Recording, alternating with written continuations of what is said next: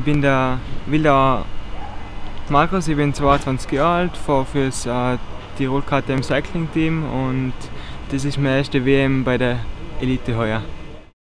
Der Kurs ist auf alle Fälle extrem hart, also es gibt fast keine Stellen, wo man sich da regenerieren kann oder einfach ein bisschen, äh, ein bisschen erholen, weil es immer rauf runter geht. Ähm, äh, so gefällt mir der Kurs schon ziemlich gut, weil da sollte man schon gut entgegenkommen, aber natürlich mit der, e, mit der Eliteklasse da, da mitfahren wird, äh, wird brutal hart und sicher ganz eigene Erfahrung.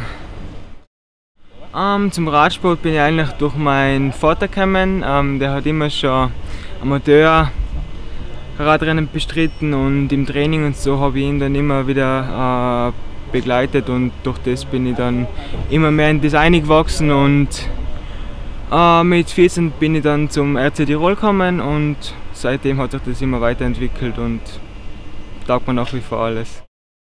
Also meine schönste WM finde ich war 2015 in Richmond. Also das war schon mal eine tolle Erfahrung da nach Amerika und die Stimmung und alles, das war halt wirklich mega.